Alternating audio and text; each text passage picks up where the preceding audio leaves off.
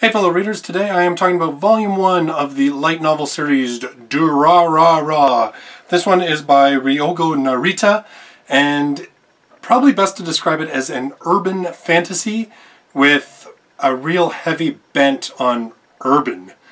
Uh, this book takes place in a district of Tokyo where there's a lot of weird things going on. There are kidnappings happening, disappearances, rumors of scientific experimentation on human beings, gangs, and a headless fairy riding on a motorcycle and wielding a scythe as her weapon.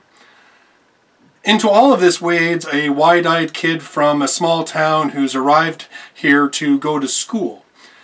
You mix up a whole bunch of characters that don't really seem to have anything in common, and the book itself starts off with a number of different storylines that seem very disconnected, and eventually it all just kind of blends together into this single story that is really, really cool.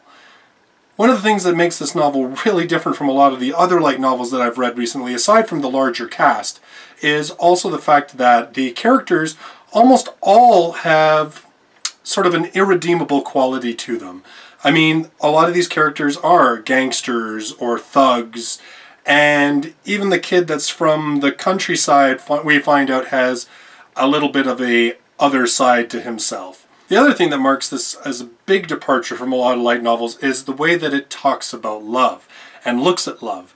See, in your typical light novel or anime that we see, love is usually a doe-eyed female falling in love with some amazing guy and then a whole bunch of other girls falling in love with that same guy, and the guy is either completely clueless or ambiguous about which of the girls that he favors.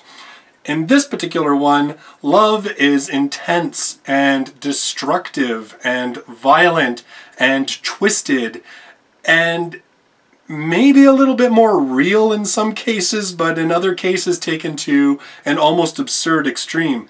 But given the world that it takes place in, it works. In fact, it doesn't seem like the lovey-dovey love would really work in a world like Durarara. So this one's really cool, and like I said, I mean, it has a headless fairy riding a motorcycle with a scythe, which you would think is going to make it very paranormally fantasy, but it's very, very rooted. I mean, even that character is almost just like a stronger thug than average than she is some kind of supernatural character. So again, even her character instead of being like a fairy per se, I mean, she's in like a leather rider bike's outfit with a helmet that, you know, hides the fact she doesn't have a head. And she rides this motorcycle. Like, it's still very this gritty, dark, street level type of occurrence.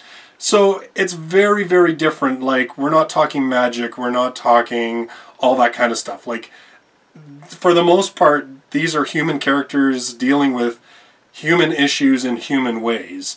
So Durarara is a really cool book, very, very different from the vast majority of light novels that are currently in release. I highly suggest you check it out because of the fact that it is so very different.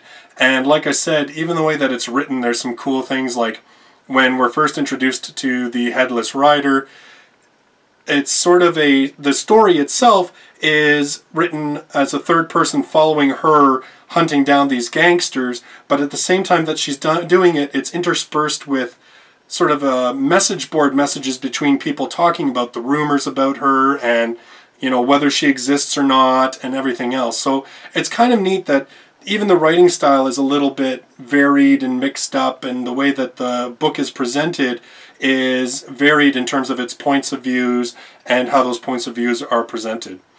So those are my thoughts on Durarara. It is really cool. Check it out. If you like this review, hit the subscribe button. If you read this book and you have some stuff you want to talk about, by all means, leave those things down in the comments. I hope to see you in my next video. Until then, bye-bye for now.